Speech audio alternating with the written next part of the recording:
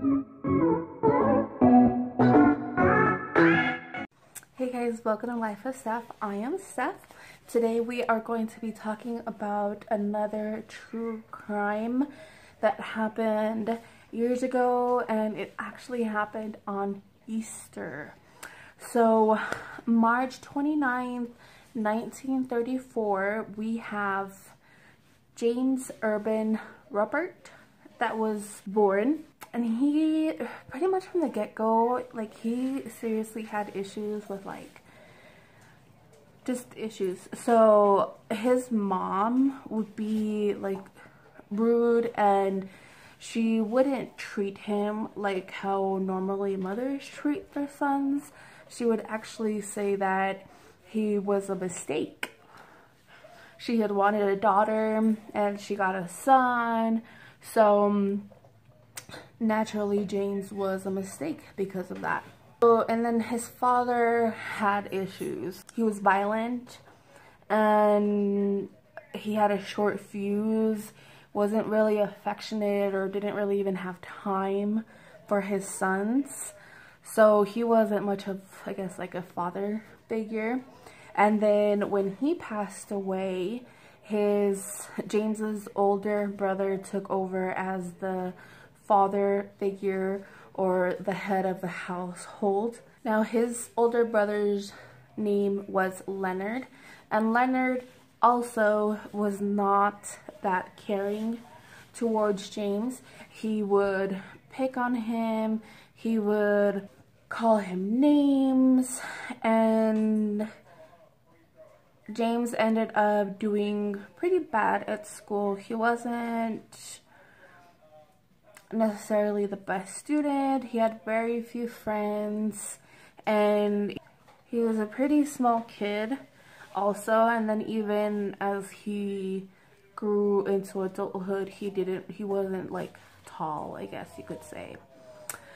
When he was 16 he did end up attempting suicide however his attempt did fail it wasn't successful so he ended up just going back to this life that he was not happy in, that he didn't want to be in.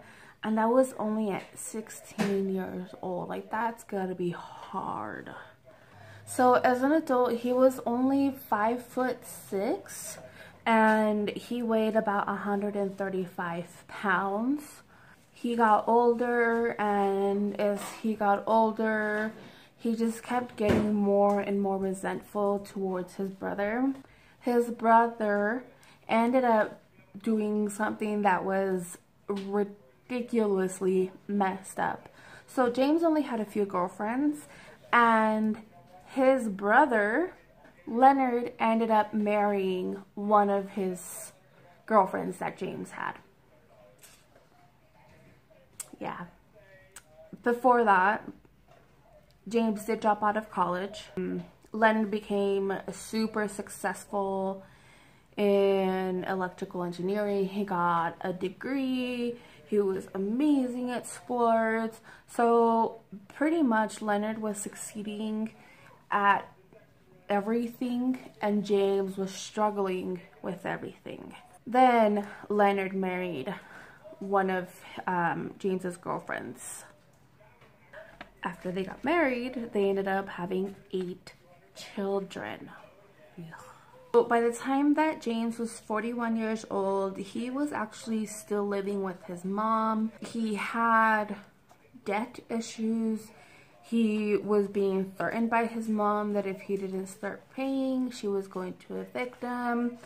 And on the other hand, we have Leonard with a super successful career and he was actually working for General Electric. So during that time, you know, after his mother threatened with evicting him, it seems that that was his breaking point, what pushed him really over the edge. About early March or so, we do have witnesses that came forward that James was inquiring about silencers. He did have a gun, so he was interested in getting a silencer for it. And he had also gone out to purchase ammo. In general, he did start changing more. His attitude um, became weird. He got weird. He was just totally different. Started changing completely different.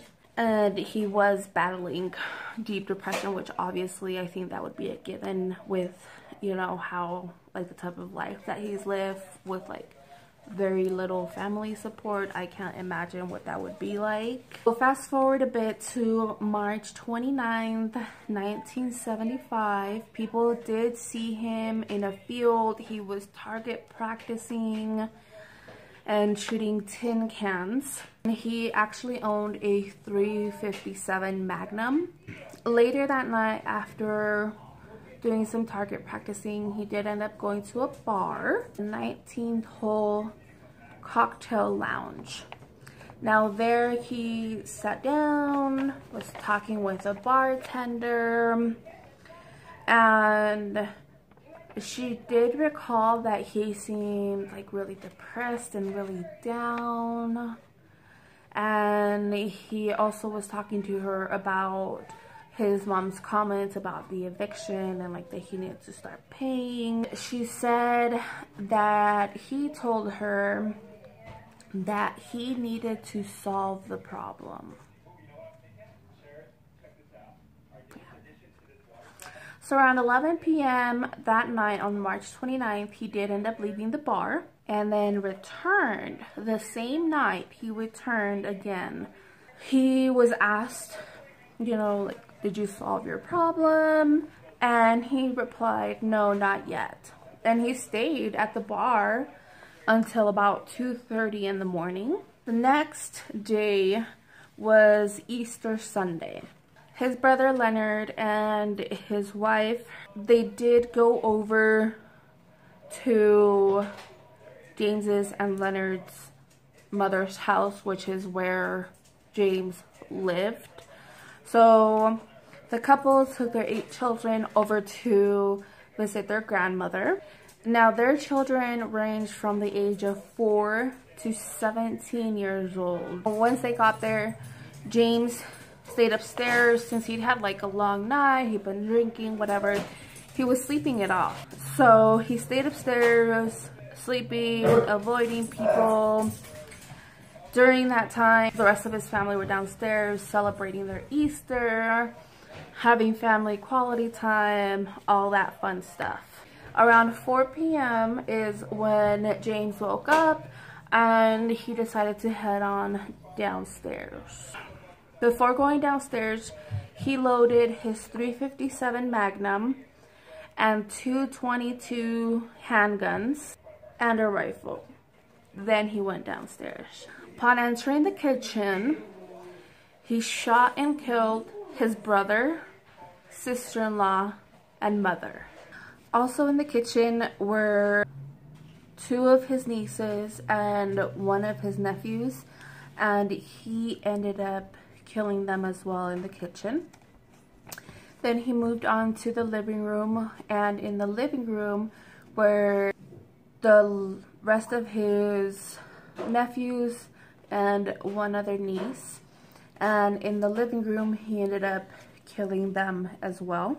So each of his victims was shot with one disabling shot so that they couldn't run away. And then he went in with another shot, the fatal shot either to the head or the chest. Um, the only sign of any type of struggle in the crime scene, in the kitchen, in the living room, was just an overturned trash can. It's said that this whole massacre lasted no more than five minutes. After he was done, he ended up spending about three hours in the house just himself and then he decided to call the police and report what had happened. When uh, when he reported it, he waited at the house. He was waiting just outside of the front door until the police officers arrived. police on the scene described it as a slaughterhouse. It said that there was so much blood on the floor that it ended up dripping through the floorboards and supposedly even to till recently there was still staining on the floorboard. So they did live in a pretty small community so it really shocked everybody and a lot of people did say that they would have never expected something like this from James. They said that he was quiet, unassuming, a really good neighbor. So they were shocked by this massacre that happened and they were shocked that James was the one responsible for it. So like I mentioned, the whole massacre lasted not even five minutes. So during those five minutes, there were a total of 35 rounds that were fired. All four of the weapons were recovered at the scene. So when the trial began, it was originally held in Hamilton, Ohio. James was found guilty for 11 counts of murder and he was sentenced to life in prison. A mistrial was declared because it was believed that he didn't receive a fair trial. He would be having a second trial in Findlay, Ohio.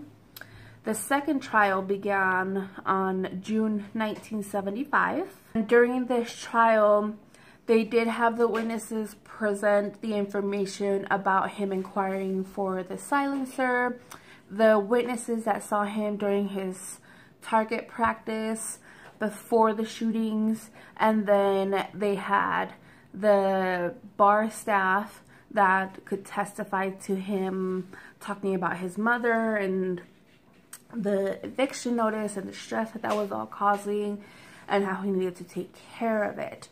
So after all of that evidence was presented um, in July 1975, he ended up receiving 11 consecutive life sentences.